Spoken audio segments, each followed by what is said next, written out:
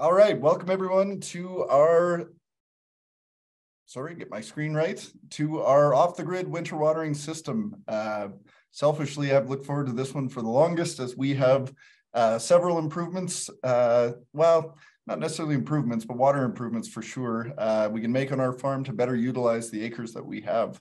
Uh, we got an excellent panel tonight. If you are a regular listener to this uh, podcast or webinar, you know I'm a huge baseball fan, and there happens to be a big baseball game going on tonight. So if you see a bunch of scores posted in the Q&A, that is because I've requested it. I want to watch the game in full tonight, but I do uh, have a curiosity as to who's going to win. So if you see that, that's what's up. And with that being said, if I was going to miss a baseball game that I so desperately want to see, it's because there's only one thing in the world I hate more than missing a baseball game I desperately want to see, and that is dealing with winter water issues. And our farm is definitely not immune. We may be worse than most. Uh, our home yard has about a gallon and a half uh, a minute of water available for 200 cows plus calves plus bulls it does not work. And we see uh, Melanie went out, my wife went out and took this picture this morning. This hasn't worked in a while, but I said, you can take pictures of waters all over our farm that don't work because you can't uh, make a water work that doesn't have water. So on our farm, uh, we use Mother Nature's watering system. So it forces us to winter cows uh, in a valley, which works great. We were chatting with the guys uh, before we came on. I think this is the best watering system of all. Uh, so you see on the right, uh, the sun dogs around the sun, this was about minus 40, and the cows um, keep those uh, tight little holes open uh, in the ice throughout the winter time. And amazing, no, no electricity, uh, no trough, no pumps, no nothing. Uh, walk down, check the water, make sure it's not frozen, and nine, nine, nine times out of 10 or 99 times out of 100, it's just not. Uh, the issue on our farm is we have one, maybe two uh, farms that we can do this on. And uh, because if you've watched this webinar before, uh, you know we do a pile of this uh, grazing corn residue and intercrops, grazing cover crops, bale grazing, swath grazing. on our farm, we are really trying to utilize every acre for as best uh, to the best of our ability as we can. And our biggest limiting factor is winter water, pain in the ass. So I, uh, more than anyone, am looking forward to this webinar. Uh, the guys we have on on the panel today are absolutely fantastic. Uh, I have got to see their winter water ideas. Um, and of course, I know, spoiler alert, they are great ideas. Um, so I purposely not asked them any questions not tried to find out as little as possible about their systems so I can come across as genuine and gonna ask questions. Um, I'm assuming if I'm asking these questions because I'm genuinely uh, in need or interested, that there's farms out there that are thinking uh, the same thing. So uh, first up on our panel tonight is Phil Birnie from Wawota, Saskatchewan. Phil, if you wanna take your mic off and your video. So Phil and I have been buds for quite a few years. Uh, I spend about as much time talking to Phil on the phone as my wife. Love you, honey. but, when Phil and I get chatting, so Phil, let's try and keep this uh, in the 15 to 20 minutes that we discussed, and we can talk uh, tomorrow. But when we get going, we get going. So I'll try my best to keep it uh, to keep the time limit on us. But Phil, tell us about your farm uh, or uh, tell us about your operation, who you're farming with, where you're farming, and then we can get into your winter watering system.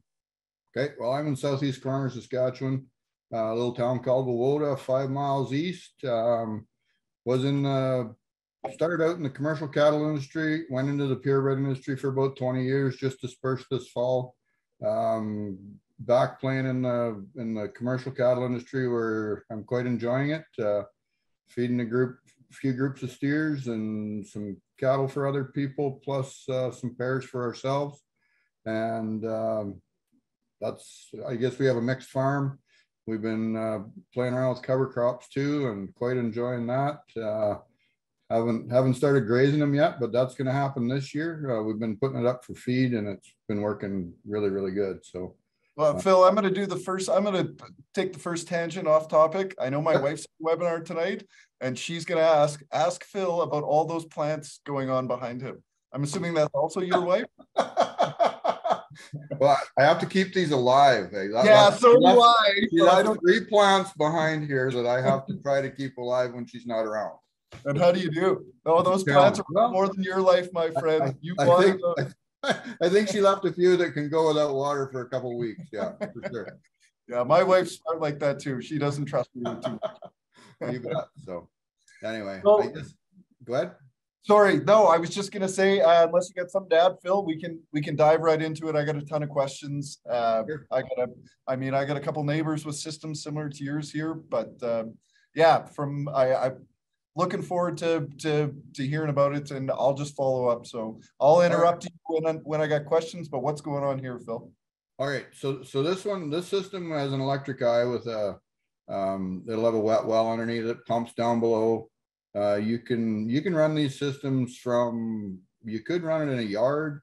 Uh, right from, um, you know, having electricity, if you wanted to, you could, you could set this system up. Um, in our particular case, we run it off a dugout with a wet well. So it's, it's fed by a tube from, or, or a pipe, I guess I would say, from the dugout. So one thing you'd want to consider is enough depth in your dugout so that it doesn't freeze to the bottom in the winter. Um, I- don't have any guidelines as to how many, how big of a dugout you need for the winter or anything like that. Um, but it, it works quite well. Um, this particular system, the, the electric eye is a ways away. Um, it, it works, you know, works fine in that a- as long as you don't have a lot of wildlife and you don't have a lot of things that can blow around in the wind, um, electric eyes do work by movement. So if, you know, in our, we have another system that has, and we may see it in the future here with a couple of pictures I think you've got, but I've got the eye really close to the trough. So they actually have to pretty much stick their head in the trough before it turns on. And, and the downfall of that is you have to train the cows so you almost have to have it turning on easier than that to begin with. Once they learn it, no problem. But that particular system in front of you there, if a deer walks up, it's going to turn on. Anything that walks by, if there was some grass sticking up and the wind was blowing, it may turn off and on. Uh, so you do have to be a little bit cautious with that. So Phil, maybe I, we might bounce around here. I'll Yep. just, uh, you, you'd send me a video and you and I both know the trouble. We're both idiots with technology. Uh, so I never got the video on and, and to be honest, the video, videos don't work super for our live audience. They come up Yep. a little choppy, but this is what it looks like in the bowl. So maybe just talk about, obviously the water is coming from the dugout, but what's going on in the bowl? How long does the pump stay on for? How does it drain out? All, all the shit like that. Okay, so so you can see the water coming up from the bottom of the trough there. So that that trough's got holes in it, so that if the trough gets too full, it just runs through the holes down into the wet well. So down below there, you've got a pump, you got a you got a hose coming up to the bottom there. Um, you'd be wise to put a filter on that line, uh, so that when it drains back, the, bo- the bottom of the bowl drains back through the filter, and then you don't get a bunch of algae and scum and stuff like that in your wet well. Um, the other thing you want to be cautious about when you're setting this up, we didn't get this one anymore and deep enough. So that dugout doesn't have to get, you know, real low before this doesn't work as well as it could. We should have had our well a little deeper because we're on higher ground. Yep. Um, away from the dugout a little bit. Now in behind the, the wet well with the trough in top there, um, you'll see the, the green panels. So I've got four panels, four 10 foot panels with my battery box, everything that operates the systems inside there. So And can- I'm looking at the first picture, Phil. That's the Yeah. eye that you have right You up. there. It, it's about halfway up in between the two, Yep. uh, the bars on the fence there. Yep. Okay, and, and that one particular one, they have to get fairly close before that turns on. So, I mean, that, there's other people probably, you know, maybe don't think that's a good idea, but it works well for us. Uh, Well, I, I mean, what, I don't want the I would- turning off and on and discharging my battery. yeah. So what, what, like, when a cow sticks her head in there to drink, she sees there's nothing there, the water turns on. Yep, And then how long does that, so she drinks away for a minute and then walks away. How Yep. long does that pump, pump for after and how long's the, the drain back time? and- You, you can set that. It's all adjustable. Um, and it does take a little bit of playing around to get it how you want it. Um, it, you know, it will stay on for varying t- lengths of times and it's adjustable right on that eye there. Yeah, Yeah, and I'm, and there's two other things that you need to figure out. There's twenty-four volt systems and twelve volt systems. Don't mix them together because they don't work. Um, I, I don't, I'm no expert on that, but my understanding is that if you had a lot of wire, a lot of distance to go with wire, a twenty-four volt system would be better. Um, but don't, don't mark my words on that. Ask somebody that knows more than I do about that part of it. what, what's power in this, Phil? Uh, so, so this one has, uh, solar panels. Um, I've got two solar panels. I, I wish I remembered what wattage they were, but I, I like to over solar panel the, the system. I don't have any wind generators. Um, I just, if it requires one solar panel, I put two up. Yep. Um, and then if it requires four batteries, I put six.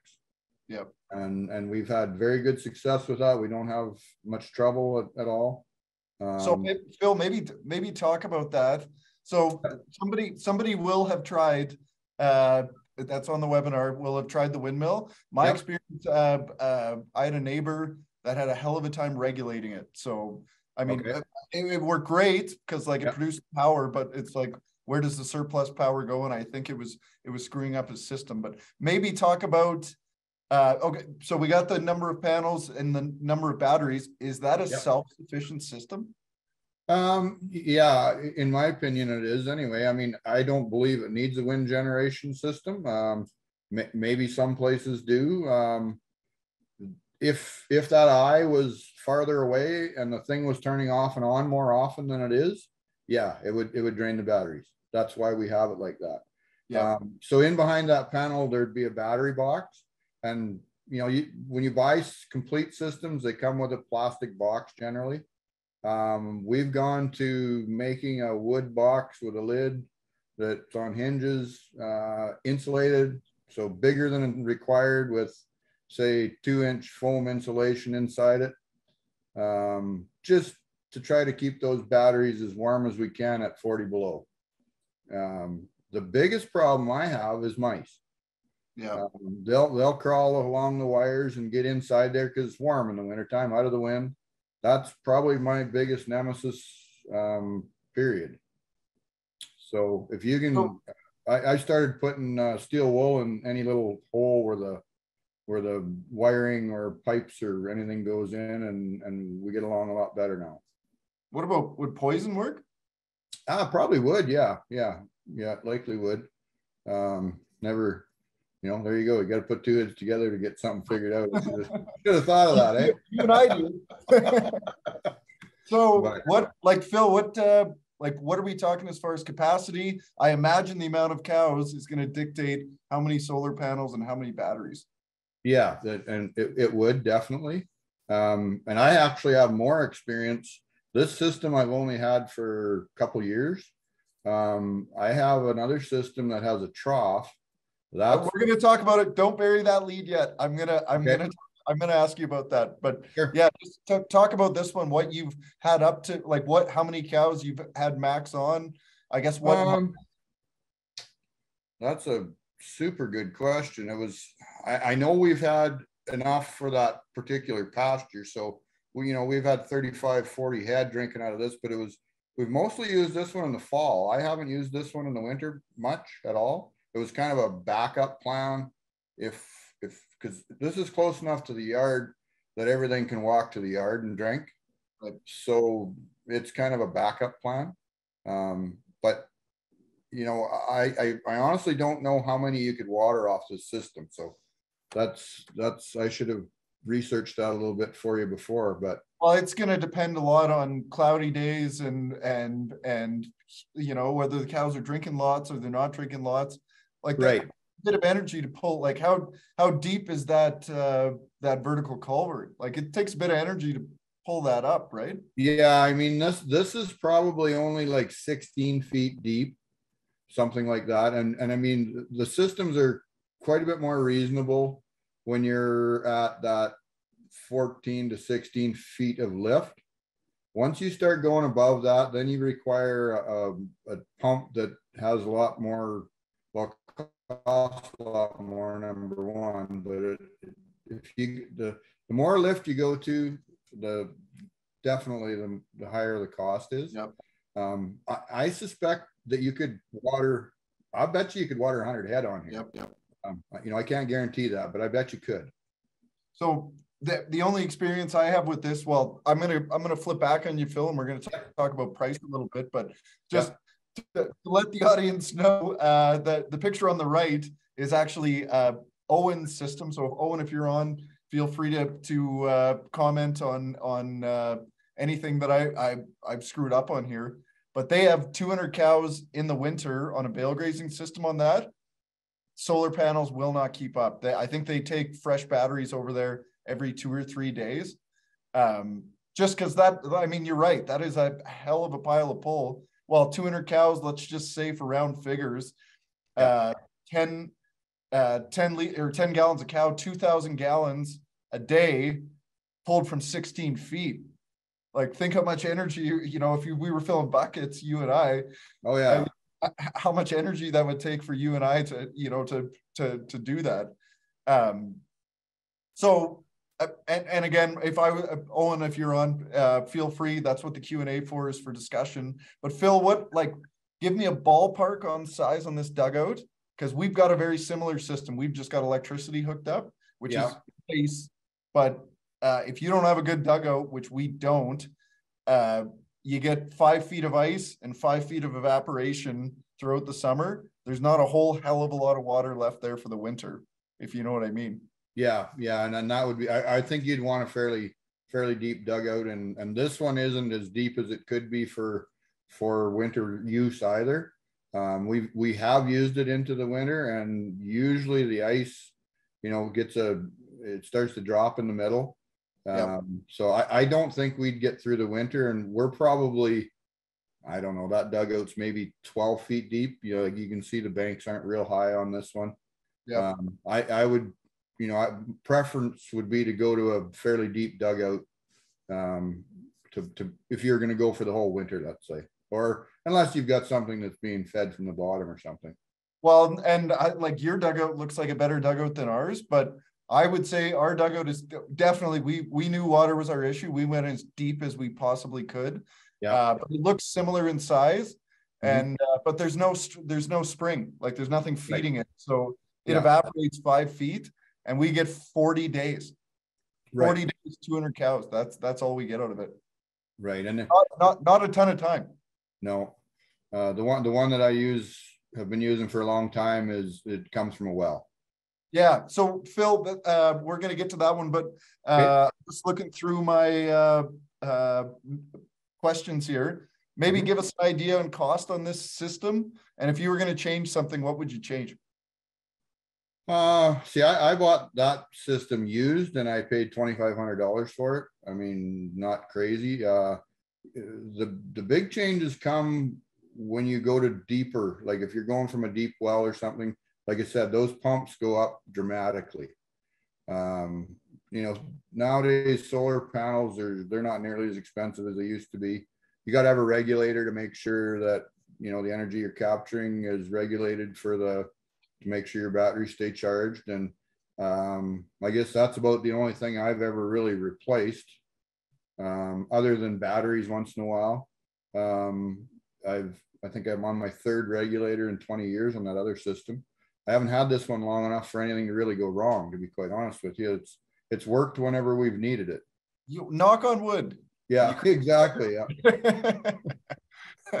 And the dugout was there before. Yes, yeah. Dugout was there before. I fenced it off. Um, so that, you know, nothing can actually get in there in the wintertime now either. Yep. And, or summertime, if I don't want them in there, they don't go in there. If, if the system goes down, I have a gate I can open and, and they can go in there in the summer if they need to, but I, but I can keep them out of the dugout now. Nice. Well, you've talked about this. Tell us what's going on here. All right, so this one I have a lot more uh experience with. I've had this for at least twenty years, probably longer. That trough, I believe, is two hundred and fifty gallons. Um, your limitation for winter watering on this system is you gotta have enough cattle there to turn the water over to keep it from freezing. So in, in other words, I, I don't think you could go less than about twenty-five head on this trough. And I've, I've had a hundred head on it. And this actual picture, you can't see it real well, but I can see it. Um, this is what happens when you have too many cows on it for too long, because that drinking tube that's in the center there, it's actually been broke out. Oh, yeah. Okay, so so uh, the drinking tube is is very important in this trough. These troughs are now extremely expensive in my mind. Um, I think that trough now is probably three thousand. Um, those troughs are double walled, they're insulated. So, and that's important. I'm I'm sure you could make one. Um, you know, that's these things work very well though. So I mean, if you if you amortize it over a period of time, like you know, the 20 years that I've had this trough, really, I guess it's not much money. But so if you look on the backside, you're going to see that hose. There's a black hose coming in, and you're going to see a little white thing sticking up. That little white thing, all that is a piece of plastic pipe, and on there is a pill switch or a low level float. I think they can also be called. Um, so that's what operates the pump. So there's a, a switch in there and, uh, you know, as it floats up to level, it shuts pump off. Um, How does it, how does that hose stay not frozen in winter? so, okay, so it, it's higher in the middle than it is on each end. Oh, And- nice. And the pumps allow the water to leak back. So as long as it's flat enough or, or, you know, nothing can lay in the hose from your high point to the trough and it can drain back to your well or your pump. Um, that's all. I, I did have a problem with this once. Uh, it took me quite some time to figure it out. The, I would go over there and that, that hose would be froze. And there should, there was no reason for it to be froze. Well, the well is thirteen feet deep here, which makes it a very reasonable cost for, I can actually use bilge pumps. I can go Did to you- Did Canadian you say Tire. your, your well you water your cows with is thirteen feet? Yeah, this one is, we got, we got some areas where there's pretty good water, pretty shallow, so. Three, three hundred feet, man, a gallon and a half. That's what I'm dealing with. Well, we're very fortunate here in that res- regard, so. Anyway, they, um, the problem that was happening was they would, the recovery on the well wasn't quick enough. There's enough water to, to water the cattle, but not as fast as what the pump was pumping. So it would pump- it would pump it down and then it would be just getting a little wee dribble of water. And it would just keep flipping water into that pipe and, and it would gather and freeze on the outside or the inside until it was froze solid. And took me a while to figure it out, but uh, we, we fixed that by putting a second float switch or pill switch down the well. And we've got them hooked together, so it's hooked the opposite way. When the water level goes down, low enough that the pump's not gonna be able to pump, it shuts it off. Oh, yeah. Yeah, so then, so then it allows the- well to recover. So ever since we did that, no worries at all. That fixed it perfectly. So there's no heat in that, Phil? Like there's no electricity? That's, that's an underground line to that tank. When it comes up, there's just a hoop, it drains both ways. there's no underground line here at all. This That's is, laying right on the ground. there, there's nothing laying on the ground. That, that actually goes, the, it's too bad we don't have the pictures. You can just see the very corner of the solar panel on the right-hand side, straight behind that post. Oh, oh, oh, there's a well, right, the well's right Yep. there. Yeah, the well's about, oh, 20 feet away. So in Right. between the, the, this and the well, I've got two, two and seven eighths tubes stuck in the ground ten feet. And I've got the solar panel mounted on top of there at a nice angle to the south to catch the sunlight. And I just have that hose is hooked to those pipes so that it, that's the high point. And if you get it too high and your lift isn't enough, it, it, it won't do it. Uh, I gotta, I gotta be careful how high I go here because the pump only has so much lift. And, and then the well itself, um, we really don't have much there either. It's pretty simple. There's, we, we've got a, um, an old tub from a lick tub and we got it turned upside down with some wire poked through it and hooked on it and it hooked to the top of the well with a bit of insulation on it so that it kind of keeps the heat down there. And then the top of the well is covered with uh, some silage plastic. So this is a very efficient, um, not expensive system. This this system is. I, I, I just quickly looked up some prices before I come on. Um, it's basically like Kelln's float pump system. Um, so I think they they say that has a 14 foot lift, and that particular system they quote at 2750. So that would be probably only one solar panel. Uh, I don't know if the batteries would be included. There would be a battery box. Uh, would include the pump. Uh, would include the switch. Switches aren't terribly expensive. I think they're about $125. They do occasionally get waterlogged and you got to throw them away and get a new one. But the maintenance on it on this particular system has not been much. Um, really, you know, a guy should take the batteries out in the summer and clean them up and all that. And I mean, it it just doesn't happen here. And it's it's been pretty foolproof for us. Uh, what you know, the only time we really had problems was when that well was going dry on us. We didn't understand why. And then of course it would drain the batteries because the pump would just run and run and run and run. Yep. So, but once we once we got that figured out, it's great.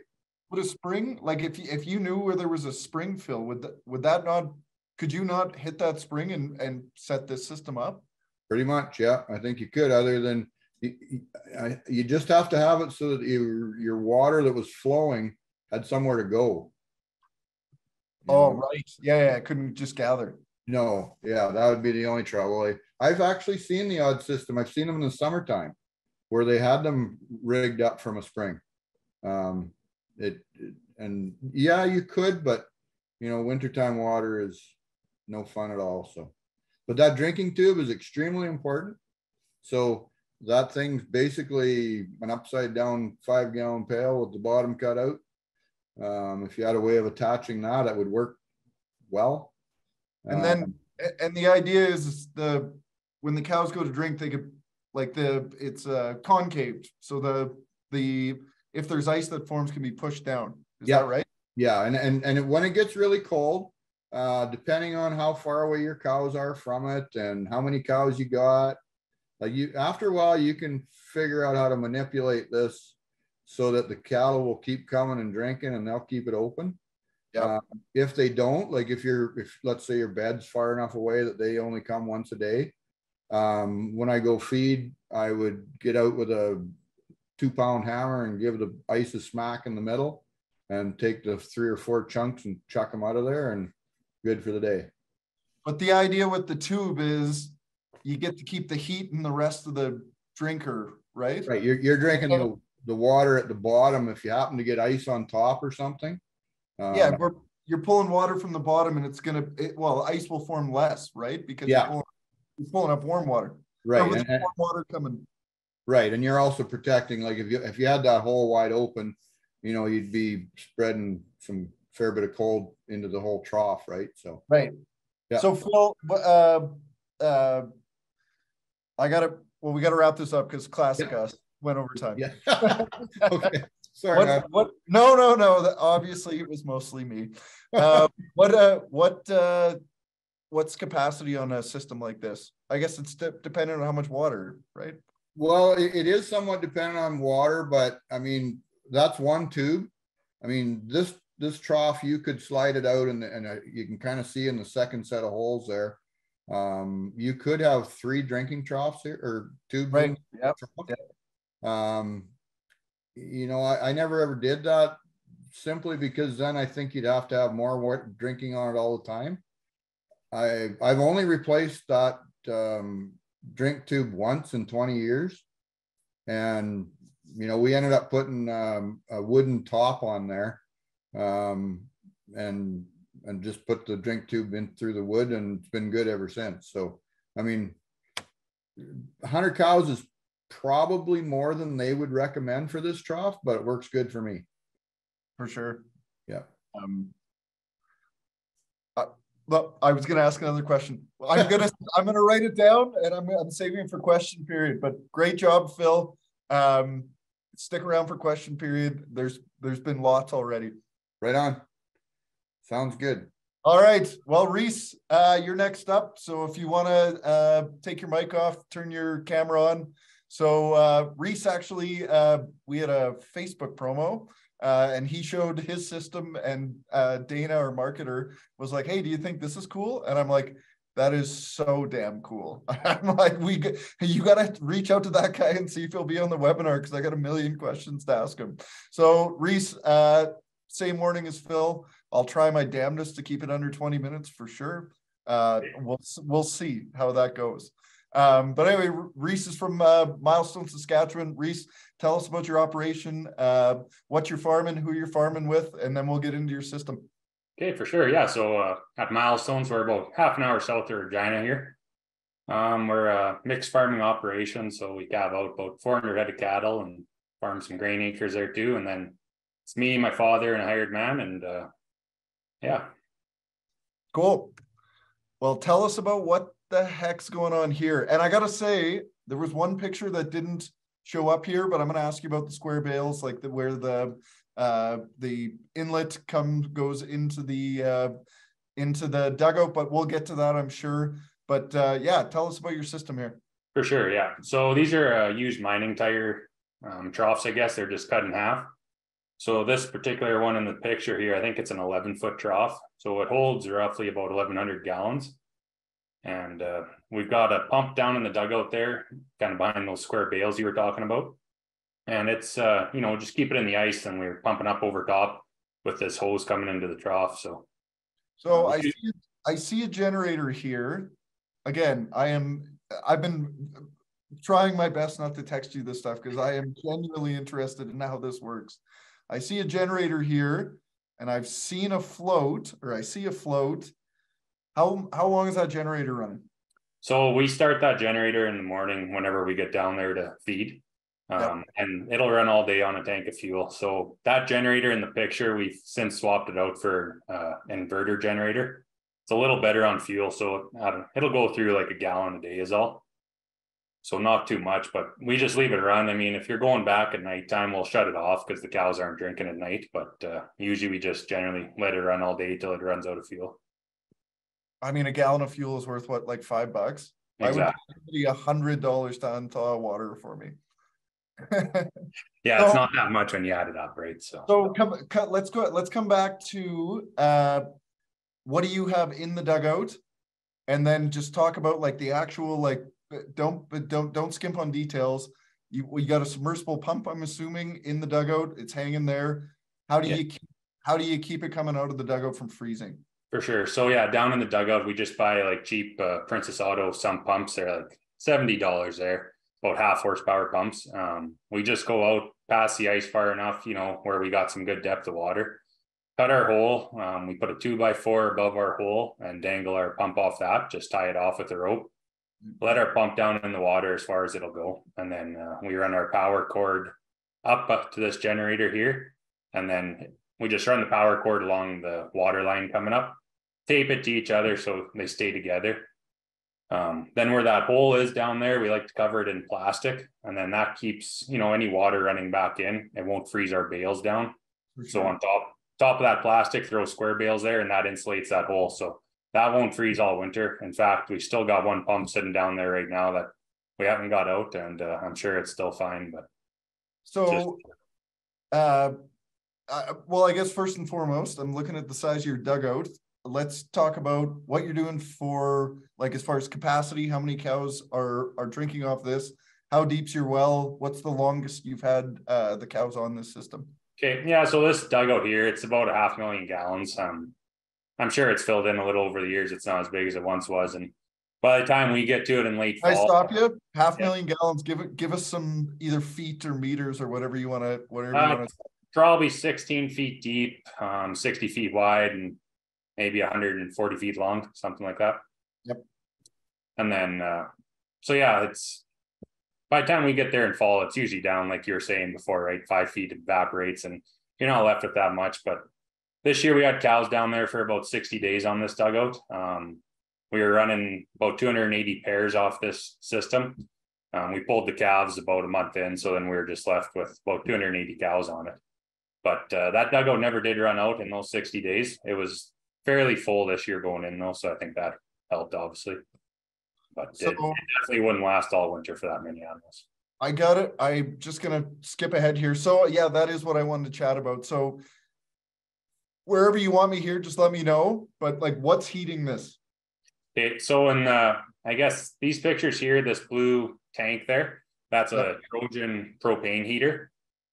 So it runs off uh, propane. It's a pretty simple system, I guess. We just got a 40 pound propane bottle there inside those grill panels.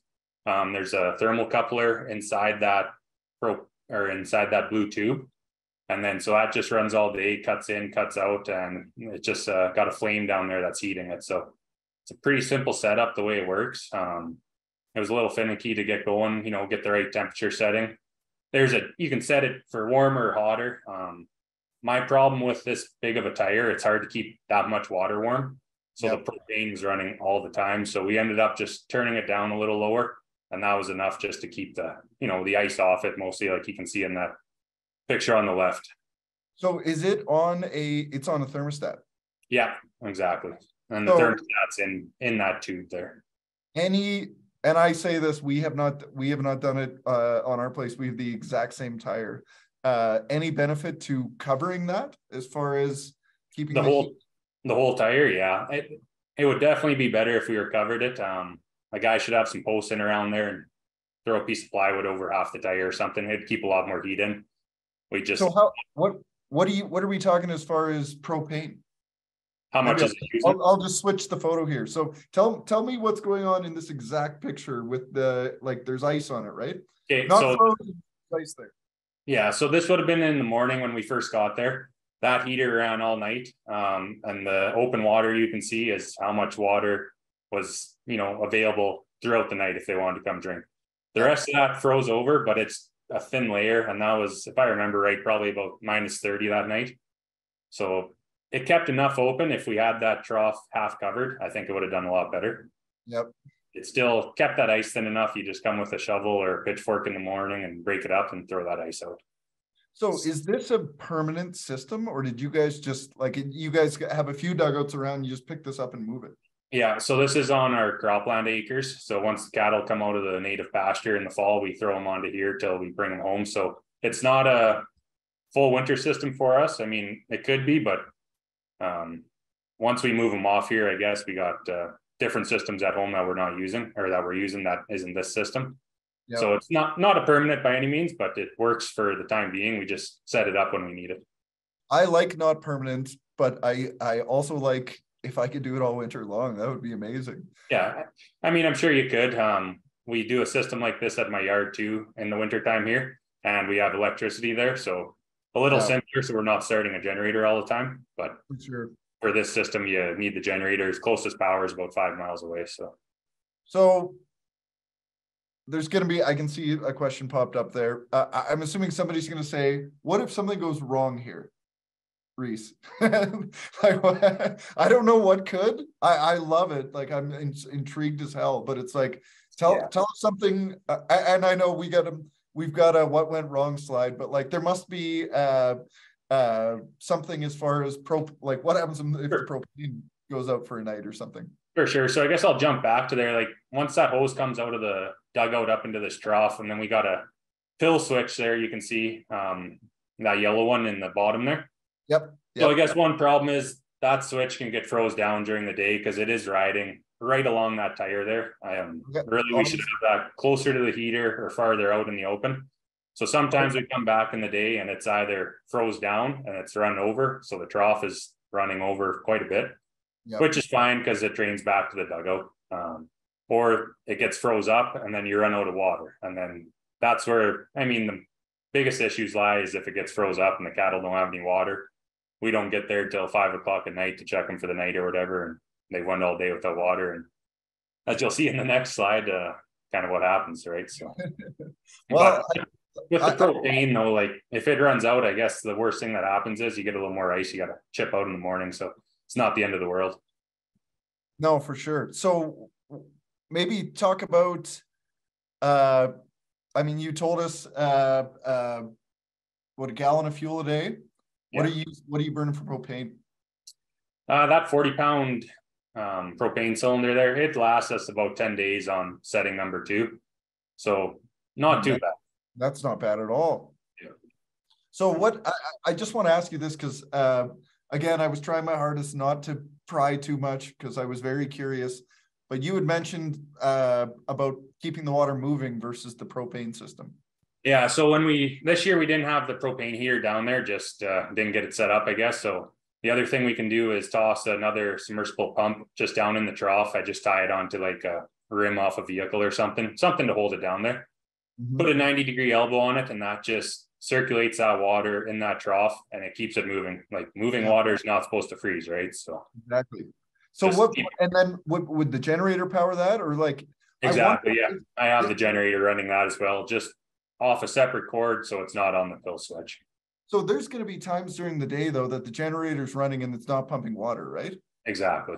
I wonder, like, is there a, a, a- like, and I'm wondering out loud, legit, uh, where you could have a battery charger charging batteries when the generator's not pumping, I, mean, uh, basically the generator's running all the time, keeping the batteries charged, and you just keep the, the water cycling all night based on With the batteries. being charged from the generator.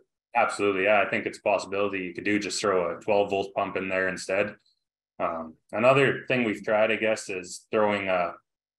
Oh, like a bubbler in there, a twelve volt bubbler you'd use in a fish tank almost, Yep, yep. just to have some air coming up and uh, we've tried that just a little bit and so I don't have much data on it, but. It's another option that uh twelve volt system could be using, right? So, Yeah, I, it's not that I don't like the, the propane, uh, side of it, but if I got it, like. I am gonna do this, by the way, Rhys. Like, and I've got my, my wife and, uh, my brother and his partner are all on tonight. We're all very curious about this. Uh, yeah, cause we've got dugouts all over the farm. Probably they, need a lot of them need to be deepened, but you know, it saves you building the trench and the vertical, uh, uh, the vertical culvert. And like, exactly, we've got generators that we are not using in the winter time. yeah, uh, and that's the thing, yeah, you got a generator kicking around this tire, we can use it in the summer if we need, but. It's just so simple to go chop a hole in the ice and throw a pump in there and you're set up and you, you know, we don't know where we'll be all the time on which pasture and. The season, so it's hard to install a permanent system there, put a well in, right? So.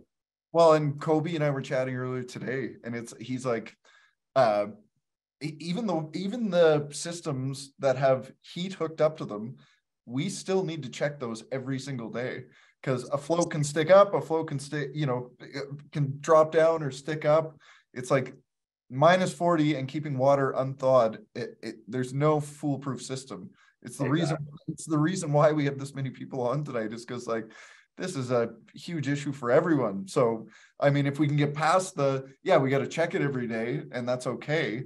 It's like, I, I, mean, as far as off the grid in the middle of nowhere, I, I- I have not seen another system that looks like this, which is neat. I don't, did, did you find this from someone or? Um, kind of, sort of, yeah. The greener pasture ranching's uh, Steve Kenyon there. He kind of had a system like this. I just modified it with these tire troughs. Um, we stock these troughs and sell them, so they're kind of a dime a dozen for us. So they're easy to put up, and so we like using them. And you know, they're insulated a little too. They're Yeah. three inches thick of rubber there, so they help. And we just find it's easier, you know, if even if it does freeze over at night, you're chopping ice at waist height versus bending down in the dugout.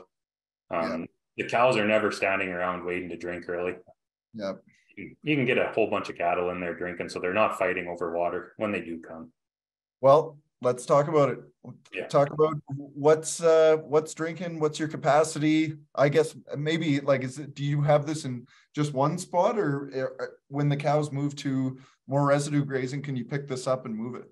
Yeah, so this tire we just leave here. Um, we've got other tires just set all over the place. They're, we find them just easier to leave here because that center plug there is Quikrete. So if we picked that up and moved it, it would either crack or something, or you'd have to reseal it, right? So Mhm. we just leave it there, but I guess what you're limited to here is how big your pump is. If our pump's not keeping up to this, you know, if, if they come in and all these cows are drinking. Our pump might not keep up to it with that one inch hose, um, so when there is more cattle, we throw a two inch pump, um, some pump in there. Use a two inch hose and that's about our limiting factor there is, What, uh, cause we use like a, a, uh, one inch hose on a, on a sump pump at home. As long as there's water in there, it's like, it can run a long time and there's a hell of a reservoir there. exactly. Um, but what, like, what, I'm looking at the hose, like, I don't know, is that the two inch hose or? That's what the H hose there, yeah. The inch hose, so it's like, what would capacity be on that? Well, um, like particular this year, I guess with that inch hose, there was, yeah, the two hundred and eighty pairs there. Um, it probably takes half an hour to fill that trough up, I'd say. Um, the only problem, if you come in the morning and they drank it down overnight, that's when you'll get into issues with them fighting around the trough, just because you're trying to catch up, right? But if you, if they're going and if they come to drink after they eat and that trough's full, it'll never run out on them. Yeah, cause they, I mean, they come, they just cycle up. Right? Exactly. And the, and they'll just do that all day. So I get it, Rhys, I gotta give you credit, I already have, but now that we have an audience, uh, we have this exact same tire. All, not the exact same setup, our setup's, uh, pretty similar to Phil's, it just pumps into a tire. And, uh, uh, the, the float froze up and went and broke the, the float down, water started running, but we had two hundred cows that were looking to drink all at once. And we had a calf that got pushed in and didn't get out. And I did not take a picture of that. We got the calf out and, and it's dog That food. was it. No But, problem. but I'm giving you ample, ample amounts of credit. Uh, I'm a pretty open book. Um, but you had something similar happen here where it's like, good, I know you said your dad took the picture and sent it to you, but like, good for you to, uh, to put this out there. That every single person that's on tonight has had something similar happen to this. And this is how we learn because, uh, you had a, a screw up and all of us can learn from, uh, what happened to you. So tell us what happened here. Yeah, for sure. So I mean, it's one of the mishaps that can happen. So I guess what happened here, this was later in the day when we went back to shut that generator off at night. So in the morning, there was good water there. It was pumping, it was full, everything was drinking.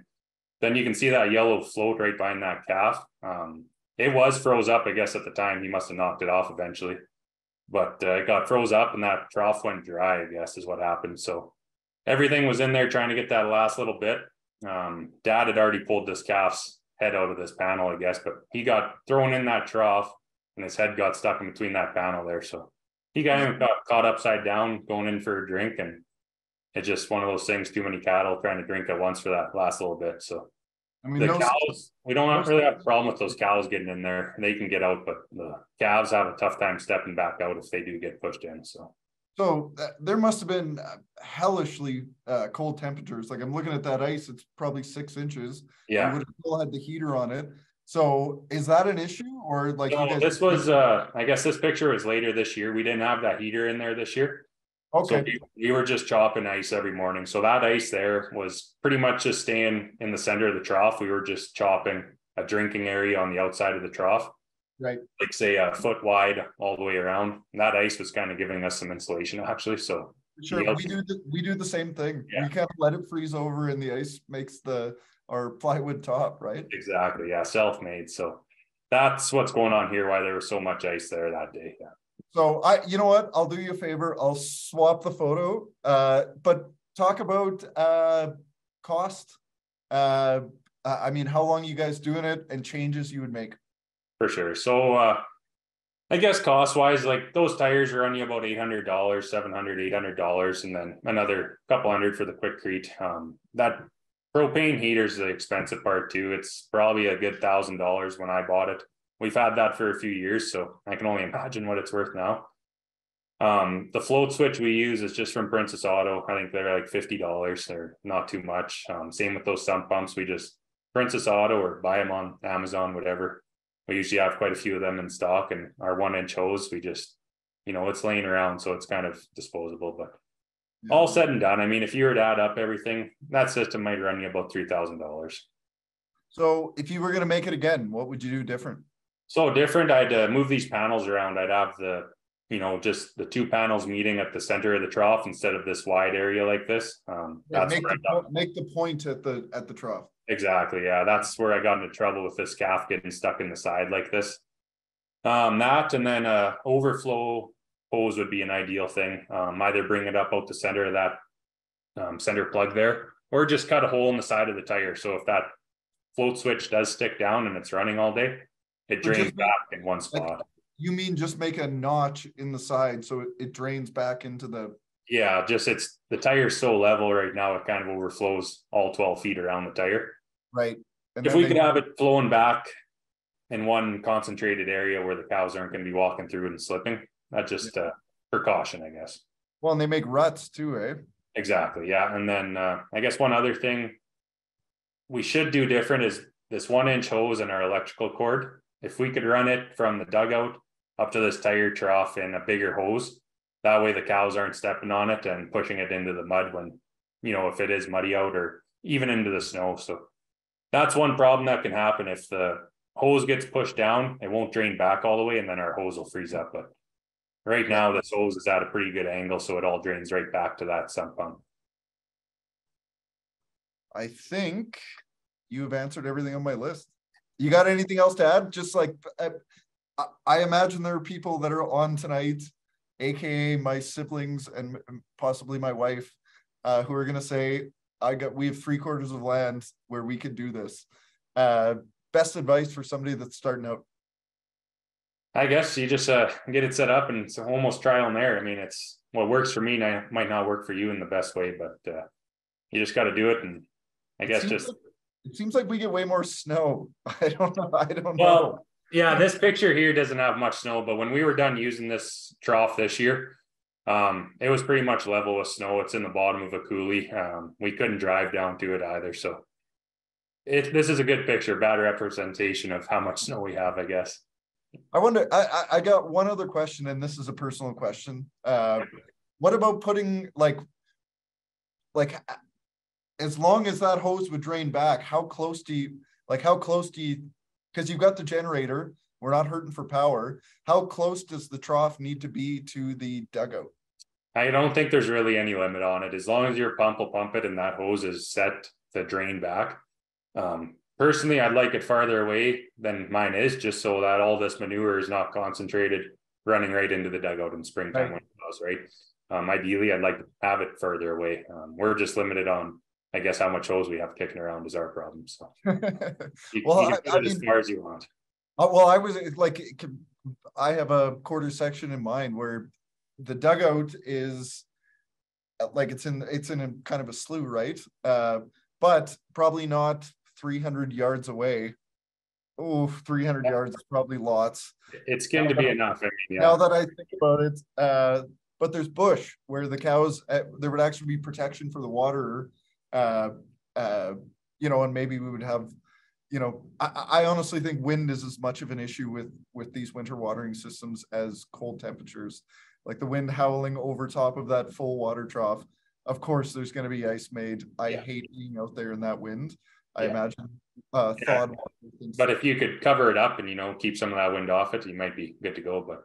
Like this one's only maybe twenty yards off the dugout, it's not that far, but Yeah. I guess Well, you, just one, one quick last thing, uh, Rhys, because I'm sure we've gone over time. I haven't checked the time. Uh, but to make a cover on a tire that's this wide, obviously you'd probably want half a dozen holes. How would you keep the cows from actually stepping on it? okay, so, uh. The tire I have in my yard, we had covered, um, all we did was nail together a couple two by sixes to cover the span. And we just covered the back half actually with plywood, so they only had the front half of the trough to drink with. Right. Um, and then at nighttime, I had another piece of plywood I just slid over top and that covered the rest of the trough, kept all the heat in for night. That worked really well. It just, to keep them out of it, I guess, you could just put uh four corner posts in around the tire. Have them a little taller so they could stick their heads through almost, right? Yeah. Um, we, we don't normally have problems with the cows ever going in the trough. It was just those calves we had problems with. What about, uh, just super, super, super last thing? Uh, you got a tire that would fit inside a bale ring? Um, yeah, I guess we, like, we have some eight foot tires. They would fit in there, I suppose, right? Almost, or be pretty close, but I don't know what a bale ring would be. So whoever's out there watching, what, how wide is the bale ring? I have no idea. Ten- Well, you could just stick your head in through the bale ring is what you're saying. Yeah, just to keep them off the, the top, right? So Yeah. have the top and have the holes, but then they actually have to stick their head through the bale ring. Yeah, be a good way to keep them out for sure. Well, just. Get a small enough tire, yeah. Well, because that I think is small tires a downside too, because like it's it's kind of a reservoir when you get twenty cows that show up at the same time too, right? Exactly. Yeah, that's Well, and and I always worry about the calves. Like uh, it's you know a cow can reach down and push her way to the front, but I I'm always concerned like when that last last calf gets up and it's got to reach to the bottom, you know it wants to he or she wants to jump in there to get water. So exactly. and that's and that's the again super so happy you showed that picture and we're able to show the humility because it's like I, I that happened to us and it, it sucked uh but again i wasn't i i wasn't putting it on the podcast i Yeah. i hucked it in the bush and she's coyote bait um well anyway uh Rhys thank you so damn much uh stay on for questions uh we got a bunch more questions coming uh your way so uh Cobie if you're there do you want to uh, take yourself? Oh, beauty, there you are. So we got Cobie Herr from Pincher Creek. What a gorgeous town you have. My drive into town today was spectacular. The mountains in the backdrop. I bet you're used to that view and you don't realize how special it is. You're just lucky it uh, the wind wasn't blowing. I got one other thing to say about Cobie. I was going to make a joke to introduce you that uh, uh, the guy with the second best mustache on this podcast or on this webinar, because I've obviously, as you all can tell, I am growing a mustache, but he's a beard guy now, so that's great. I don't even have to lie. Well, it's winter time. Come on. I know that's what I mean. I got to keep my upper lip warm. Uh, Cobie, tell us about your operation. tell us about your operation and uh, your family and your farm, and uh, yeah, we'll get into it talking about the uh, stock boss. Okay. Um, we're me and my wife Dana. Um, I married into this ranch, I guess. Um, we're gonna calve just shy of fourteen hundred cows this year, and we got a seven hundred head background feedlot. We keep all our heifers in, and we've been selling our steers as of the last I don't know six or seven years. And yeah, uh, there's me here, and her dad's still here.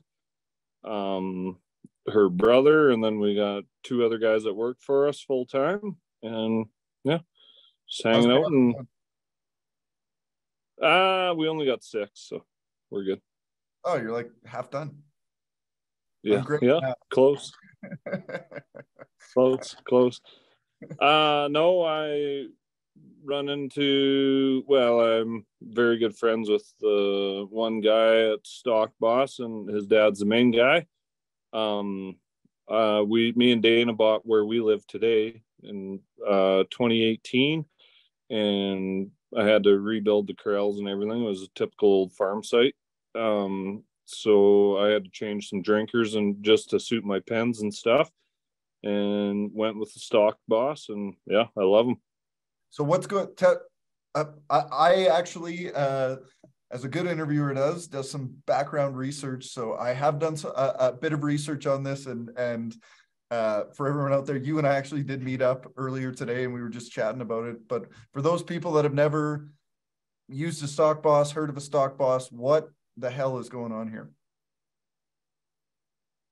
Well, I guess some good thinking. I I don't want to give Dave too much credit, but um, Okay. so they're energy free, obviously, and I'm not saying you're not going to have ice. There, there's mornings we go out when it's minus 30, minus 40, whatever, and we bang an inch of ice off, and away we go. But as you're looking at the picture right now, the center column is where all your water comes in, and it's a leveling system. You'll see the uh, white pipe in the bottom there. It fills each side of your drinker or whatever, comes up the center standpipe, and then from there it levels itself off, obviously. And then, um, yeah, they're they're just really good. They got good insulation. I mean, like I said, I've I've we bang ice out of them in the morning. If you do your research and go on the website and pay attention, you put some mineral oil in the center by your float so you don't get because we haven't done that before. Um, but you'll get a little crystallized ice or water or whatever there, and your float will hang up. But if you put the mineral oil in every winter, put I don't know, I don't even if you go to the website, it'll tell you, but put a half a gallon or a gallon mineral oil in there and bang the ice out and walk away. So explain to me, and I know I know you've got a cheat sheet sitting beside you. Dustin's there. Uh, okay, why explain the other tube. So we're I'm looking on the left, I'm looking at uh uh three tubes going up, and two of those are drinkers, yep. and then sitting in your corral there, I got uh one drinker and one tube. What's the idea behind the like the center tube? If we're using the the heat from the earth, right? Uh how come the one tube yep. just into the drinker isn't enough? Uh, so your your center tube or whatever, that's where your water comes from. So in your pitcher, I can kind of see it. I don't know if that's bad uh, interweb stuff here. No, I'm just kidding. Um, no, it is. But the center tube is where your water comes in. So in the pitcher, you're looking at the SB3 or whatever. In yep. in the horse pen that you're looking at the drinker, that's an SB2 or whatever. So it's it's a one hole drinker or two hole drinker. That's the difference in the deal. But the water comes in in the center, in the center tube. Uh, like the yep. Let's like on the horse drinker, you've got a you've got a uh, one tube where the water comes in, and the other tube yep. that actually. So the the the center tube. We'll just talk about the one on the left. The center yep. tube the water comes in. That's where the water stays warm and distributes yep. from the center tube. That's where your float and your standpipe and everything is. Yep. Right. And then so the heat from the ground and the and the fresh water coming in, uh, the more they drink, the warmer that water is going to be because it's going to cool off less. Absolutely, you're going to cycle it. Yep. So so then there's uh there uh, I can hear Dustin talking to you. Isn't that the best? Listening. Oh, you can't. He's he's not here. uh, well, I, I so when you go out in the morning, I know there's a basket on top, right? So yes, what role, what role does well, there, you can see it in the picture on the right. There's a black basket. Yep. And then just talk about like, is that where you pull that whole basket out to dump the ice, or or what's the role of the basket? No, uh, the basket is keep like so. Well, you can say silage fed cattle, horses on hay, whatever. If they eat and well, you know how it goes, and they go to the drinker and shit falls out of their mouth and goes down in there, and then it's it's really easy just to pull out and clean. I mean, it comes with some shipping screws in it. There's usually three in a basket. You unscrew them. Um, and I think there's a video on it with Dave, but I, I can't say for sure. Yep, but like he said, it. just Yep. Just put a rock in the bottom and then you can dump it at any time and it it's just clean and fresher and smells better. Just yeah, just to keep it like keep shit from plugging up the system. Keep shit out of there. That's right. Yeah. Yep. So what do you like uh I I mean I can almost smell the horse shit from that picture. so you you don't have cows on it, but when you do have cows on on the system, what's what are we talking as far as capacity on it? Uh, so the SB3, you can have 200. Summertime is kind of recommended, but I mean, that varies with weather. I mean, I got four here at my place that are kind of strictly horses, but at my father in law's, we got two. Um, and we have 300 heifers there. Same thing, we got a creek, but there's a lot of cattle locked up. Um, and then he's got a single just for the horses at his place as well. But there's and we'll winter kind of some of the dink calves and stuff there too. And there'd be, you know, there'd be could be a couple hundred head there potentially, and there has been, and it's no issue. What would you say, like on the like uh the like the the SB three, like the drinker on the left with the two holes? Yep. Yep. What, what what would you be comfortable with as far as capacity? Well, I don't want to throw Ritchie or anybody else under the bus. I, That's okay. I don't. Th- I, I don't think it's as much as um, what they can drink. I think it's a lot about to do with your water pressure, honestly.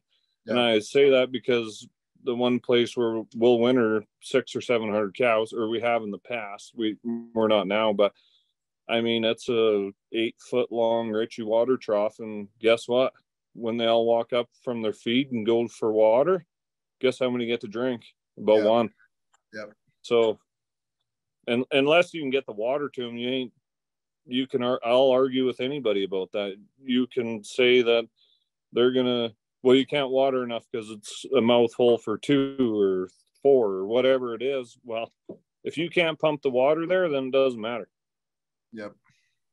So I got maybe talk a little bit about installation. I robbed this directly uh, off the YouTube channel, but I'm uh, glad to hear this was actually uh, on your place. So maybe talk about the, yeah. uh, the installation video was at my place. Yeah. yeah, well, talk about uh, yeah, just the i- installation process. Obviously, you got a water line uh, connected, but you said something interesting. I said it's got to be connected to a uh, water line with a pressure system, and you said nope. There are people that uh, have set this up on a spring system. So maybe talk about installation, what happened on your place, and then I got to know about how to set these up um, from a spring standpoint. Okay, so installation is pretty easy. I mean, especially if it's a new water, you got to have a hoe there to dig the water line anyway. So Mhm. it's not anything. I guess the cost of it is depends who who's around you and who can come and what they charge. Um, but other than that, I mean, it's really simple. We are on a pressured system here. We've had a drinker similar to the stock boss before on a gravity feed out of a dugout. We were just, and literally we were only probably 50 feet from the dugout and it was lower and it worked. Um, How? How yeah. would that And then what's that? How would that work? Like if it like oh the the sorry the stock boss was lower. Yeah. Right. It, Sorry. it wasn't a stock boss at the time, but yeah, Yep. it, it does work. Yep. Um, and Dustin Flendra, he's got a drinker at his place that's on a spring fed deal and it cycles in. It's kind of a little bit more specialized kind of a drinker. Um, they're maybe not on hand as much, but you can uh, you can darn sure get them and it just cycles the water through and you got a intake and an outtake. So uh uh uh Frank, who we were both chatting with today, um talked about not putting concrete uh, uh like around the stock boss. What are you doing as far as packing it in and making sure that you know it's not going to be a bloody mess there come spring? Uh, we add fill, and I thought about that after I actually talked to Frank because we in our feedlot, um, we have electric drinkers, and we got concrete pads around them. And guess where I haul the fill every year? Right Yeah. around the cement pad. Cement, yeah.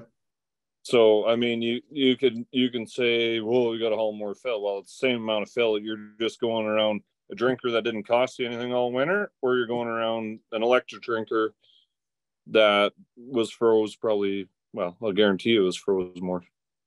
Yeah.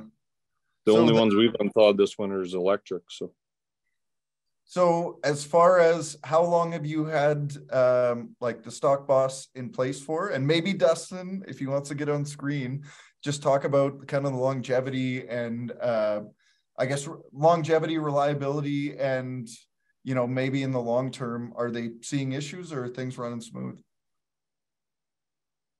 Okay, well, I'll answer my part and then he can jump it. Um, I've had him here since 20, well, 2018. So, um, I, Uh, I. I honestly, yeah, the only thing I would have changed, and Dave probably brought it to my attention, but I would have put more single drinkers in instead of double drinkers so that your, that water changes more.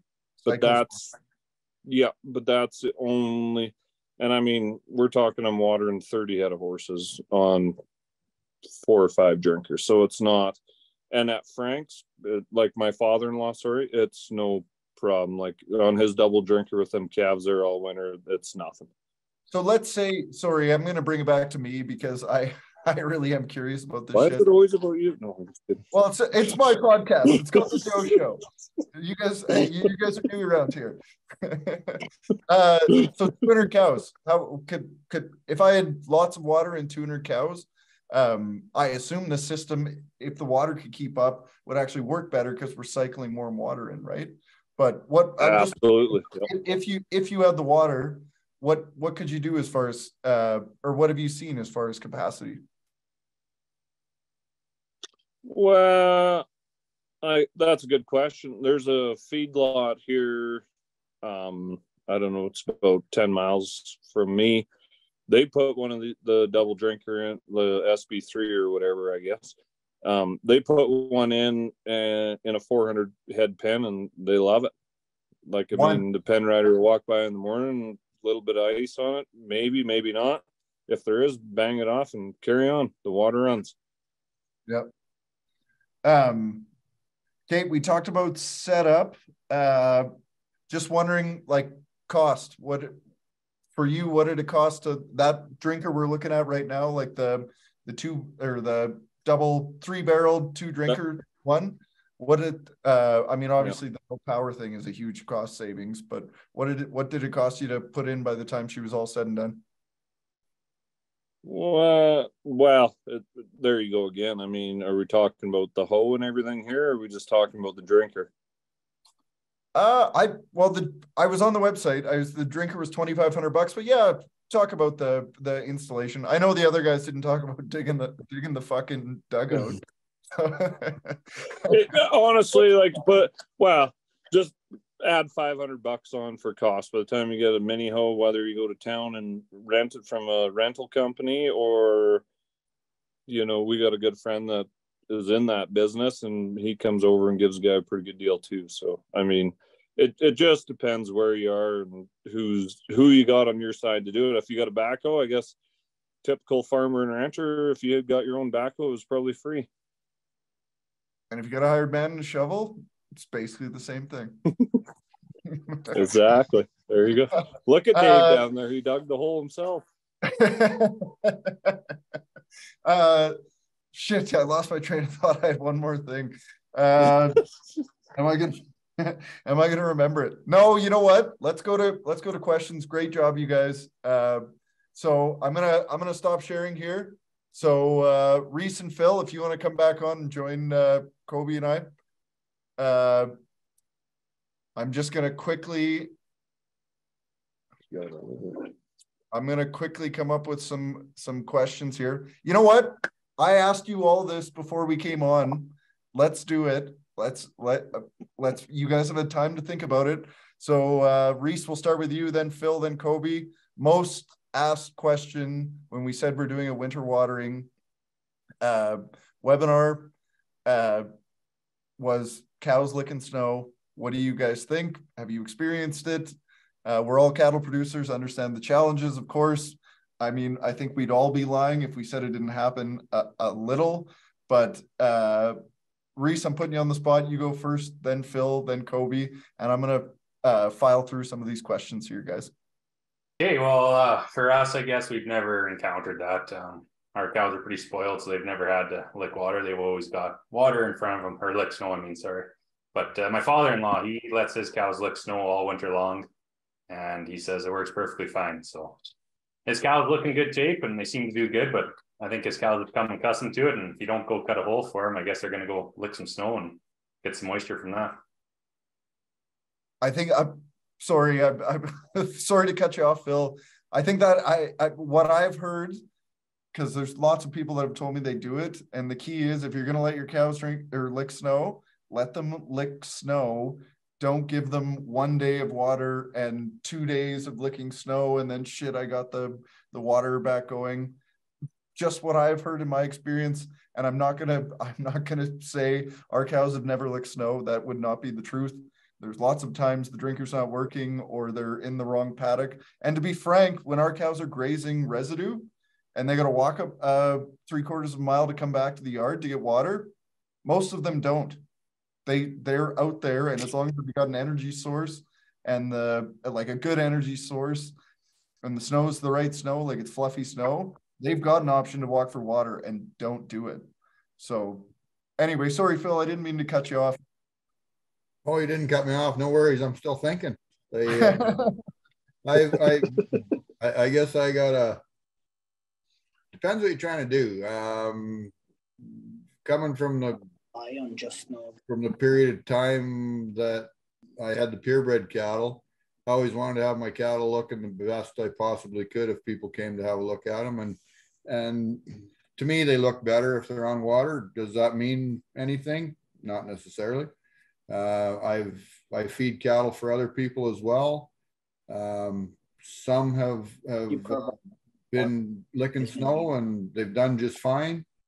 Um, I'm I'm guessing that if you looked at some testing and data that that you can get better gains with water than you can with snow, but um, that's that's about where I'll leave it, I guess. Yep. Colby? Uh, yeah, I I would agree with Phil there. Um, I mean, you can provide them with the water, not necessarily they're going to use it. I guess there's some fat cow up on the ridge or something that doesn't want to walk down there. Well, fair enough, but at least she's got it. Would be my opinion, and I agree with. They'll do a lot better. I've I've went to the feedlot in the morning. And there's no water in the troughs, and there's a lot of feed in the bunk. So, and most mornings I go there, it's uh, clean. So. I, I, do think they need it. this just reminded me of a story, you guys. The back in BSE, uh, anyway, the cows were were uh, bale grazing on, uh, and we purposely make the cows cows walk a long ways to go for water just so they're getting exercise. And uh, I bought I, I bought eight cows for four hundred and fifty dollars a, a a piece, and uh, just kicked them out January with. Uh, with the rest of the cows. Good luck, girls. I don't know where you came from, but have fun. And uh, anyway, the our main cow herd had to walk about three quarters of a mile back uh, to the creek for water, and there were only eight cows that did it. The eight cows that I that I bought. The other girls, if the weather There was go.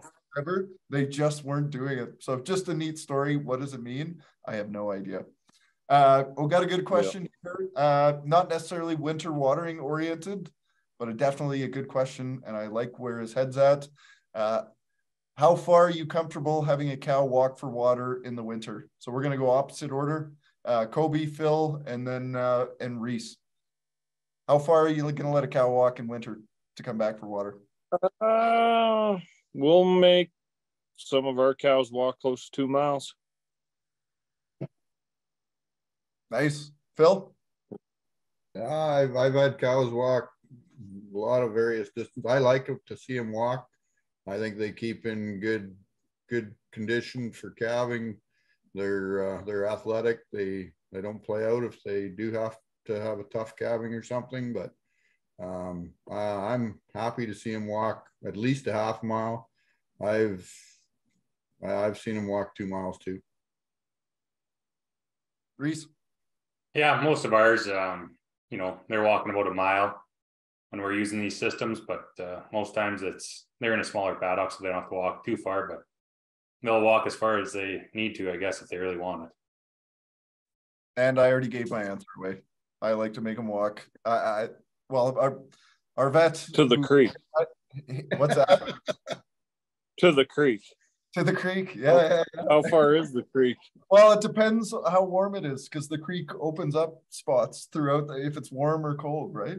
Uh, but yeah, Your like cow's shitting in the creek and it's running down to Ottawa. and Now we got problems. yeah, this, don't, don't share that photo of all the shit. Uh, hey, the deer do it. Cows are gonna do it too. Uh, uh, Rhys, we got a, a one question uh, for you, and then I'm gonna I'm going to uh, I got a creative question that I wrote down before I started. Uh, how do you make a Quikrete plug in that tire? Any problems with leakage? I can. No. no. Um, so yeah, they seal up really well actually. So put a gravel base in there, compact it. And then what we do, um, those 10, 11, 12 foot tires, dump about 18, 20 bags of Quikrete powder in there and just start filling that trough up half full with water. Let her sit for 24 hours. Come back, pump that water out, and the Quikrete's set up, and it's kind of filled all the holes on its own. And yeah, and it works really well. Super simple to do. Oh, that's it, eh? You don't like you don't. You don't pre-mix it or anything. No, just dump the bags in there and fill it full of water. Well, we bought a plug for ours. Like we actually had to buy it, put it in there, and it, it was a bit of a bitch to get it to seal. Yeah, so I tried using those uh pre-made concrete plugs, and yeah, we always had troubles with them sealing it. So this new company, yeah, they come up with this idea, and it works really well actually. So and I've used the plastic plugs too to seal them up, and they don't work as good either. I find it's a lot more labor intensive to set them up, and they seem to leak the next year after winter too. So you I got guys, a Question for you, Yeah. Rhys. So, so Yeah. you, you just, you make your gravel base, then set your tire on it, and then you're dumping the, the ten bags in? No, I just put the tire down and then I just dump the gravel into that center hole there, just you know, with the Okay. payload or whatever, dump some in, fill it in, like so that hub on that tire is about four inches thick of rubber. So that's where I build the gravel base up to and then fill the rest full with quick Quikrete there. So Yeah, right on. Sounds good. Guys to so you guys, I have a magic wand because again, this is the Joe show, and I get to ask whatever question I want. Uh, no, and I was going to save this for the last question, but it, it- it's a really good discu- discussion topic. I think. Imagine all of your infrastructure is gone. You don't have a dugout. Sure, you can you can keep a creek, but you don't have a corral. You don't have a a, a Ritchie water. You got nothing. You're starting from scratch. You got as many cows as you have now. What would you build, or what what infrastructure would you build to winter water your cows? And maybe maybe not even winter water, but what infrastructure would you put in place starting from absolute scratch? What would your strategy look like? Now, who can I pick on that has no time to think about it? Phil, it's obviously going to be you. We're going to start with you. Oh, thanks. You're at the end. You're at the end. You had a dispersal sale, so you get to think about this clearly. So we'll go Phil and then Cobie and then Rhys. You get the advantage of going last. Actually, I get the advantage. All right. Well, I, I don't know if, I don't know if this is perfect or not, but one thing that comes to mind, I got, uh, the one thing we did once was build a circular area that has a water bowl in it. And the reason I did it was so that if we had a problem, you could open a gate and everything can go for water at that particular place. And man, it's been awesome. So I- I think I would start with some sort of a, an area like that and work out from it. So I'm going to push back on you just a little bit, Phil. Yep. Uh, how about off the grid watering? Would you change anything to your the the the the two examples you showed us, or what's something you? I mean, you've had time to think about it now, especially with your system that you've had for 20 years. What would you do to change it to to improve that system? So you I know, would, I, I, I you, you're hopping in a time machine and you get to be a 20 year old kid again. What do I, you, I what do you would do, I would use a very similar system to what I've been using with that trough. Uh, I don't have enough experience yet with the eye to love it like I want to. Um, I would figure out a way, kind of a cross between what Rhys has got going on. Um, I've, I've heard of guys taking like two inch foam insulation, making kind of a donut out of it. Um, and using that in the dugout. So the pumps down the dugout like Reese is doing, and then using that. And the bales sounds like the bales work too, and that nothing wrong with that. I, I like simple.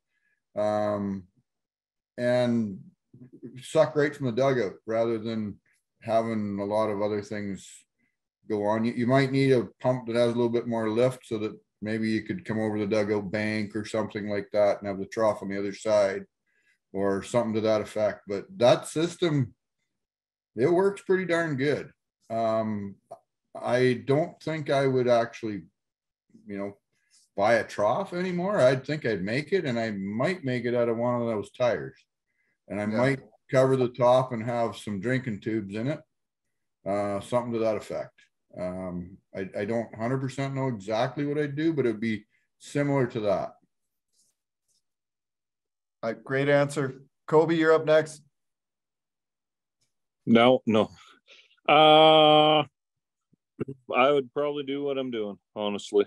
I don't think I'd change much. Um the customer service is very good. Like well, there's yes, and I, I am friends with the people that make them. I get that, but I was friends with them before and they dealt a different deal and I dug it up. So I mean, I, I don't know what more to say about something like that. Um I as we move forward, I think we will put in our feedlot and everywhere will be more of this. They're easy to winterize, they're easy to not use, they're easy to use. Like it's pretty straightforward, simple. I don't think it'd change much. What about not in your uh in a feedlot? Do do you see a uh place for this system like on springs or dugouts to be set up? Absolutely. I, I, the one I did dig up from previous deals or whatever, I would put one of these there all day long. And where we winter, I guess not the main bunch of cows because they're like you, they get to go walk down to the river and shit in the Waterton River and then pass it all, pass it away there. But, um, I, I, I, you might be trying to make me feel bad. It's not working. I just don't think my The- the of could get to Ottawa, but yours might. Um, but where we winter the like second calvers and older cows and stuff, I I would put it in a heartbeat, and that's where we got that big long Ritchie water. I mean, yeah, I'd do it in a heartbeat. Wouldn't even balk at it. Rhys? Uh, I guess um, some portable panels would be nice, like wind panels, you know, put around the waters and keep the wind off them. That'd be a start. And then uh, I guess just to speak on, I guess our setup, if I was to use it again, kind of go with across the fills there with that drink tube. And I think, you know, cover that top, that tire up and put a drink tube in there. Help keep some of that heat in. Be a good way to, I guess, improve on my system. So Phil and Cobie, you got to turn your screens back on, guys. and I want to, I want to hear your voice. Uh, I well, you guys know how I feel. I've got, I've got a shitty, I, I have shitty systems, so I'm not gonna. I'm, you guys are much more versed than this.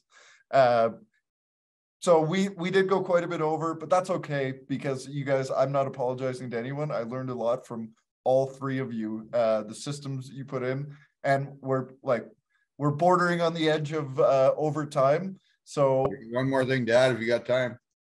i got one more thing dad I've, I've Well, seen you- it's pretty cool. well phil you got you you, you get a you get a final thought okay so everyone understands the issue- Similar. the, everyone understands the issue that is going on with cattle producers today and that is profitability is shit it's helped out a bit lately that we uh, have uh, good prices, which is fine.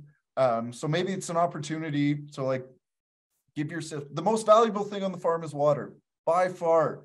If we don't have water, we can't have cows there. If we can't have cows there, we can't access the grass efficiently, right? Or we can't act or or Yep. reach your your systems similar to mine where we can't access that. Like we can't add value to our grain land because we can't access the re- the residue. So we've done this a bit. Uh, but what I, I, it's a final thought. So you guys get any final thought you want as far as, and take the perspective of a young cattle farmer that's just getting rolling. Okay. It's like, what, how can we, how can we create from a water standpoint, uh, a- an efficient system that's not cost prohibitive, that works really, really great. So, uh, Cobie, uh, maybe you start and Phil, uh, uh, you next, and Rhys, I would say you get last word, but it's my show, so of course I get that.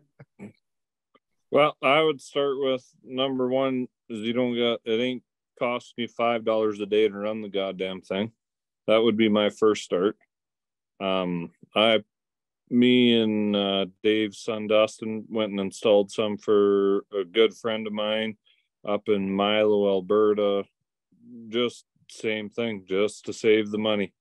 And you know what? He's never had one. We put four in that day, and he is tickled pink. So I don't know.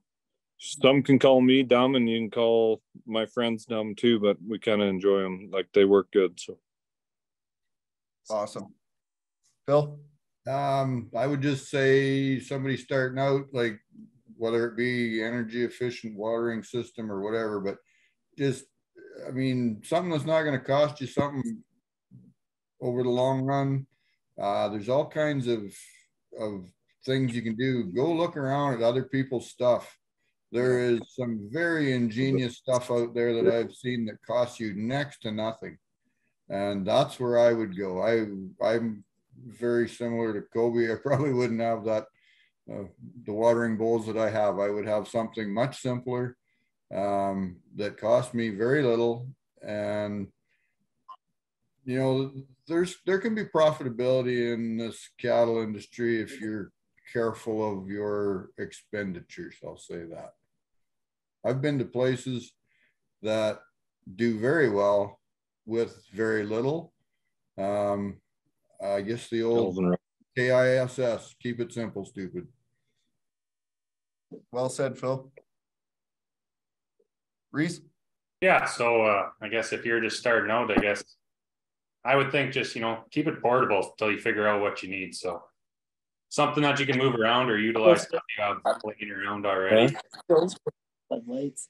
Cobie, What? Cobie, Cobie, you gotta, you gotta mute yourself. Sorry, What? Rhys, you gotta mute yourself. Oh. If you're talking, it's okay. Sorry, Rhys, go Oh, ahead. that's all good. Uh, yeah, just keep it simple and you know use what you have laying around and make something work till you can figure it out. If you're not sure where your cattle are going to be, we'll have a system that can follow you around, and make use of it summer or winter time. Well, and I, to, to, to touch on all your guys' points, uh, Phil, I think, I think you probably said it the best. You gotta network, you gotta talk to people. Uh, I, I, I mean, I wish, I wish I knew, uh, uh, like Cobie system. We just put in two Ritchie waters at a place that had lots and cement, the whole bit. It was an ordeal. Uh, I mean, Rhys, uh, we're gonna have we got several quarters where we're gonna do a system just like like the the one uh you had the power in networking and meeting people and chatting with people is going to be your most valuable tool not the john deere tractor not the implement or the the the, the fertilizer dealer it's it's doing things like this and talking to other producers that have put brain power into not your operation but their operation and you can rob their good ideas so yeah, getting to know people and networking. Uh, Phil, you said it better than I, but that that that will pay you back for every dollar you invest to go to a conference or see. I'm I'm heading to Cobie's tomorrow to go check out his system, and and I mean I don't know if we'll implement it, but it's like I bet I'll I'll under uh, get to understand or appreciate his system better and learn shit from him as well. So I I'll mean. add- I'll add two things for, uh, with what Rhys said. I, I totally agree that portable. Um, if you're gonna invest in that kind of thing, like, like portable, something you can change easily if you need to, if you're starting out. And as far as Cobie system goes, um, I've not used it, so I can't comment on it. Um, I would say regionally, uh, go have a look at, you know, if there's one of, of Cobie's working in your area, go check it out. If it's working great there, it'll work great for you. Um, every area is a bit different. We get darn cold here for too long sometimes. Um, just things like that. Just give it some thought.